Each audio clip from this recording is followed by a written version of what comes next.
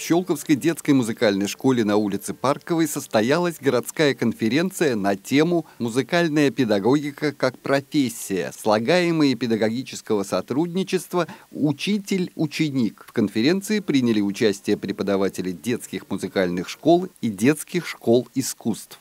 Мероприятие организовано городским методическим объединением художественной направленности учреждений дополнительного образования в завершении объявленного президентом года педагога и наставника. В нашем городском округе бережно хранят и развивают традиции музыкального обучения и воспитания детей.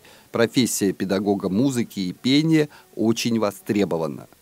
Наставник Вообще, что такое в современной жизни, как вот это сейчас трактуется, это содружество, это передача опыта, знаний, умений в неформальной обстановке. И вот сегодня особое внимание мы хотели уделить именно одной из линий этого сотрудничества, это сотрудничество учитель и ученик.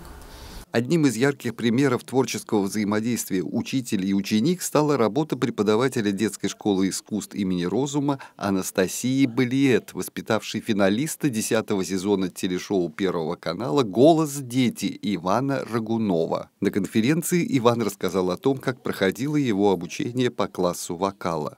С тех пор я стал обучаться, я стал лучше понимать музыку, качественно лучше слышать различного рода песни и их записи.